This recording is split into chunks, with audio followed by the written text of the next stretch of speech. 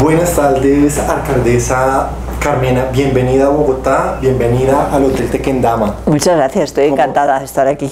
¿Cómo se encuentra usted el día de hoy? Eh, bien, hombre, un poquito cansada porque son muchas horas de avión, pero bueno, la verdad es que se me ha hecho corto. Viene usted en representación de Madrid como la alcaldesa. ¿Cuáles son las expectativas y qué papel jugará Madrid en, esta, en este quinto congreso del CGLU? Bueno, eh, yo pienso que en este momento este congreso está muy pensado también en eh, la agenda Habitat 3 que estamos a punto también de celebrar en Quito. Es decir, que esta reunión de alcaldes está muy, muy mm, pensada o muy eh, encardinada con lo que va a ser Habitat 3 ¿no? y la agenda ¿no? que tiene tantísima importancia. ¿no? Todo ello es replantear el poder de las ciudades. Los ciudadanos, en general, los habitantes buscan la ciudad. La ciudad hoy día es un refugio, es un proceso de desarrollo y se busca la ciudad. Y los alcaldes nos reunimos y somos conscientes de que tenemos que potenciar el mundo de las ciudades. Bueno, Colombia está atravesando por un proceso de paz, una votación la paz con las FARC no pasó ese, eh, no ganó la mayoría. ¿Cómo se ve esto desde afuera, desde Europa, desde Madrid, este proceso que adelanta Colombia pero que no se logró? Bueno, la verdad es que el proceso en sí mismo yo creo que es ya, pero va a ser uno de los acontecimientos más importantes de este primer tercio del siglo XXI.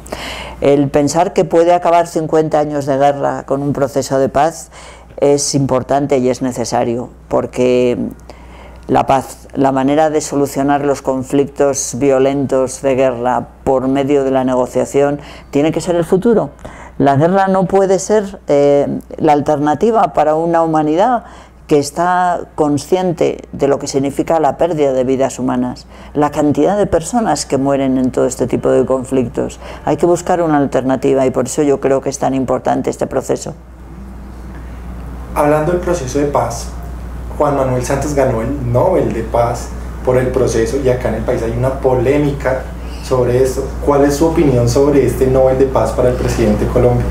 Bueno, yo creo que es eh, un referéndum desde lo internacional, es decir, desde el Nobel se dijo el Nobel, el, mundo eh, civilizado el mundo internacional eh, dice sí a la paz en Colombia, ¿no? Era una manera de reforzar un sí que no ganó para dar impulso a este proceso.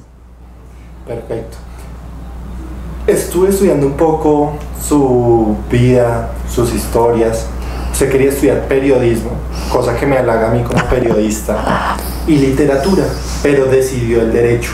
¿Cómo le ha ido en la vida con el derecho? Bueno, la verdad es que me fue muy bien, porque el derecho tiene que ver con el ser humano y tiene que ver con un aspecto del ser humano que es cuando el ser humano entra en conflicto, cuando se discuten derechos y deberes.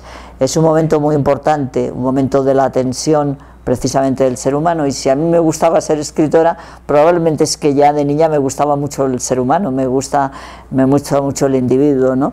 Y el mundo del derecho te acerca mucho al individuo. Perfecto.